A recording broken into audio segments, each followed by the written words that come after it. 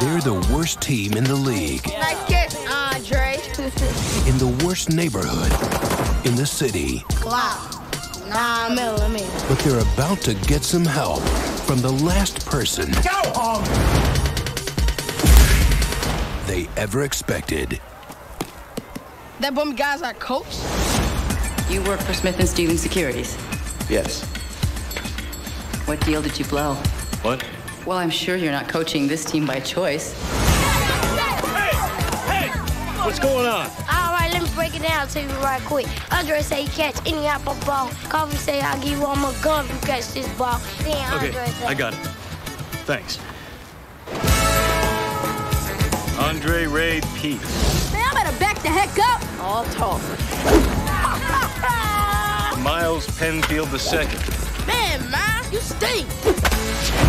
What's up, Kofi? You scared of the ball? New rule! No one can say anything bad to anyone else on the field.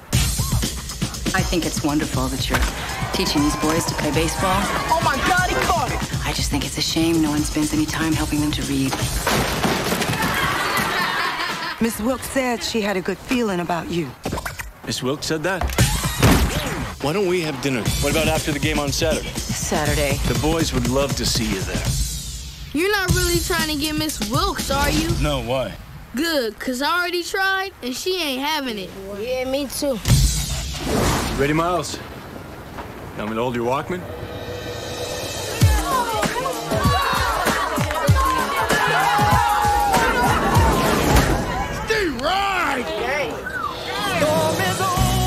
Paramount Pictures presents, in association with Fireworks Pictures, Coaching Coaching's the best thing I ever did.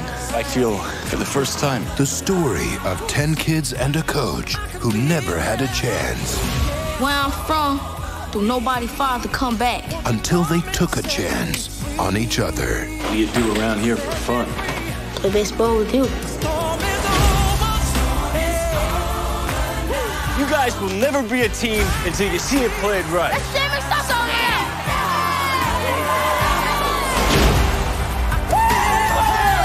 One of the most important things in life is showing up.